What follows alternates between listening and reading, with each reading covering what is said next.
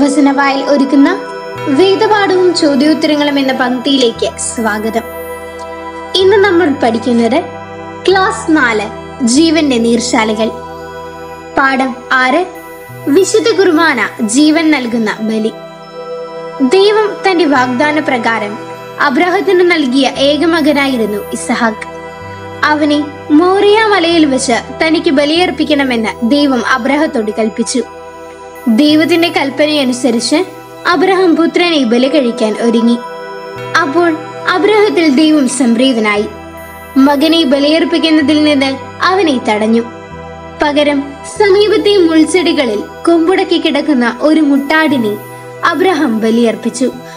ആ ബലി സ്വീകരിച്ചുകൊണ്ട് ദൈവം അവനെ സമൃദ്ധമായി അനുഗ്രഹിച്ചു. ഉൽപ്പത്തി ഇരുപത്തിരണ്ടാം അധ്യായം ഒന്ന് മുതൽ പതിനെട്ട് വരെയുള്ള വാക്യങ്ങൾ. എല്ലാ ജീവികളുടെയും ജീവൻ രക്തത്തിലാണെന്ന് യഹൂദർ വിശ്വസിച്ചിരുന്നു. അതുകൊണ്ട് ബലിയിലൂടെ രക്തം ദൈവത്തിന് സമർപ്പിക്കുന്നത് ജീവൻ സമർപ്പിക്കുന്നതിന് തുല്യമാണെന്ന് അവർ കരുതി. ലേവ്യർ പതിനേഴാം അധ്യായം പതിനൊന്നാം വാക്യം. ദൈവത്തെ ആരാധിക്കുക ദൈവത്തിന് നന്ദി പറയുക പാപങ്ങൾക്ക് മാപപേക്ഷിക്കുക ദൈവത്തിൽ നിന്ന് അനുഗ്രഹങ്ങൾ പ്രാപിക്കുക എന്നിവയായിരുന്നു പഴയ നിയമകാലത്തെ ബലിയർപ്പണത്തിന്റെ ഉദ്ദേശങ്ങൾ. എന്നാൽ പഴയ നിയമ ബലികൾ ഈ ഉദ്ദേശങ്ങളെല്ലാം പൂർണമായി സാധിക്കാൻ പര്യാപ്തമായിരുന്നില്ല. കാരണം കാളകളുടെയും കോലാലുകളുടെയും രക്തത്തിന് പാപങ്ങൾ നീക്കിക്കളയുവാൻ സാധിക്കുകയില്ല. ഹെബ്രായർ പത്താം അധ്യായം നാലാം വാക്യം. മനുഷ്യവർഗത്തിന്റെ പാപങ്ങൾ പൂർണമായും നീക്കിക്കളയുവാനും അവർക്ക് ജീവൻ നൽകുവാനുമായി ഈശോ സ്വയം ബലിയായി തീർന്നു. അവിടുന്ന് നമുക്ക് വേണ്ടി കഠിനമായ പീഡനങ്ങൾ ഏറ്റുവാങ്ങി. ദുസ്സഹമായ വേദന സഹിച്ചു. ക്രൂരമായി പരിഹസിക്കപ്പെട്ടു. കുരിശിൽ തറയ്ക്കപ്പെട്ടു. രക്തം ചിന്തി ജീവൻ ബലിയർപ്പിച്ചു. ദൈവപിതാവിന് നമ്മോടുള്ള സ്നേഹത്തിന്റെ ഏറ്റവും വലിയ പ്രകാശനമാണ് ഈശോയുടെ കാൽവരിയിലെ ബലി. അതുകൊണ്ടാണ് യോഹനാൻ സ്ലിഹ പറയുന്നത്. തന്റെ ഏകജാതനെ നൽകാൻ തക്ക വിധം ദൈവം ലോകത്തെ അത്രമാത്രം സ്നേഹിച്ചു. യോഹനാൻ മൂന്നാം അധ്യായം പതിനാറാം വാക്യം. മനുഷ്യകുലത്തെ രക്ഷിക്കുവാനുള്ള പിതാവിന്റെ ഇഷ്ടം നിറവേറ്റാനാണ് ഈശോ സ്വയം ബലിയായി തീർന്നത് കുരിശിലെ ബലിയിലൂടെ ജീവൻ അർപ്പിച്ചുകൊണ്ട് പിതാവിനോടുള്ള പൂർണ വിധേയത്വം അവിടുന്ന് പ്രകടമാക്കി. മരണം വരെ അതേ കുരിശു മരണം വരെ അനുസരണമുള്ളവനായി തന്നെ തന്നെ താഴ്ത്തി. ഫിലിപ്പി രണ്ടാം അധ്യായം എട്ടാം വാക്യം. കുരിശിലെ ബലി വഴി ഈശോ മനുഷ്യവർഗത്തെ പിതാവായ ദൈവവുമായി രമ്യപ്പെടുത്തി. നമ്മെ പാപത്തിൽ നിന്ന് മോചിപ്പിച്ചു. നമുക്ക് ദൈവിക ജീവൻ പ്രദാനം ചെയ്തു. പാപമോചനവും ദൈവിക ജീവനും പ്രദാനം ചെയ്യുന്ന ഈ ബലിയിൽ എക്കാലത്തെയും എല്ലാവരും പങ്കുചേരണമെന്ന് ഈശോ ആഗ്രഹിച്ചു. അതിനായി അവിടുന്ന് വിശുദ്ധ കുർബാന സ്ഥാപിച്ചു. കുരിശിലെ ബലിയുടെ തലേ രാത്രി പെസഹ തിരുനാൾ ദിവസം അത്താഴത്തിന് ശേഷം ഈശോ അപ്പം എടുത്ത് ആശീർവദിച്ച് മുറിച്ച് ശിഷ്യന്മാർക്ക് നൽകിക്കൊണ്ട് പറഞ്ഞു. ഇതിന്റെ ശരീരമാകുന്നു. നിങ്ങൾ വാങ്ങി ഭക്ഷിക്കുവിൻ. അനന്തരം പാനപാത്രം എടുത്ത് കൃതജ്ഞതാ സ്തോത്രം ചെയ്ത് വാഴ്ത്തി അവർക്ക് നൽകിക്കൊണ്ട് പറഞ്ഞു നിങ്ങളെല്ലാവരും ഇതിൽ നിന്ന് പാനം ചെയ്യുവിൻ. ഇത് പാപമോചനത്തിനായി അനേകർക്ക് വേണ്ടി ചിന്തപ്പെടുന്നതും ഉടമ്പടിയുടേതുമായ എന്റെ രക്തമാണ്. അതിനുശേഷം ഈശോ അരളി ചെയ്തു നിങ്ങൾ എന്റെ നാമത്തിൽ ഒന്നിച്ചു കൂടുമ്പോൾ എന്റെ ഓർമ്മയ്ക്കായി ഇത് ചെയ്യുവിൻ. ഈശോയുടെ ഈ കൽപ്പനയനുസരിച്ചാണ് നാം വിശുദ്ധ കുർബാനയാകുന്ന ബലി അർപ്പിക്കുന്നത്.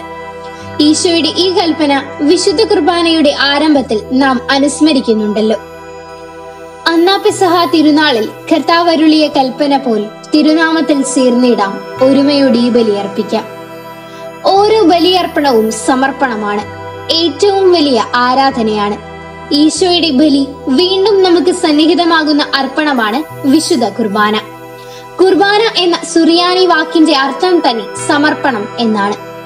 നമ്മുടെ രക്ഷയ്ക്ക് വേണ്ടി തന്നെ തന്നെ ബലിയർപ്പിച്ച ഈശോ മിഷിഹായുടെ പീഡാനുഭവത്തിന്റെയും മരണത്തിന്റെയും സംസ്കാരത്തിന്റെയും ഉത്ഥാനത്തിന്റെയും ഓർമ്മയ്ക്കായി അവിടുത്തോട് ചേർന്ന് സഭ വൈദികന്റെ കരങ്ങളിലൂടെ അപ്പത്തിന്റെയും വീനിന്റെയും സാദൃശ്യങ്ങളിൽ ദൈവപിതാവിന് അർപ്പിക്കുന്ന ബലിയാണ് വിശുദ്ധ കുർബാന.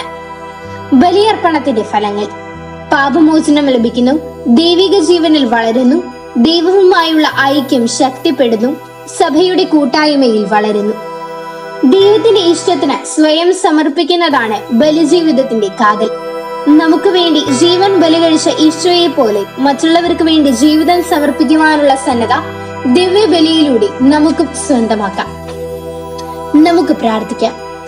ഞങ്ങളുടെ പാപങ്ങൾക്ക് പരിഹാര ബലിയായി സ്വയം ജീവൻ അർപ്പിച്ച ഈശോയെ അങ്ങയുടെ ഇഷ്ടമനുസരിച്ച് ജീവിക്കാനും സഹോദരങ്ങൾക്ക് വേണ്ടി ത്യാഗങ്ങൾ അനുഷ്ഠിക്കുവാനുമുള്ള അനുഗ്രഹം ഞങ്ങൾക്ക് നൽകണമേ.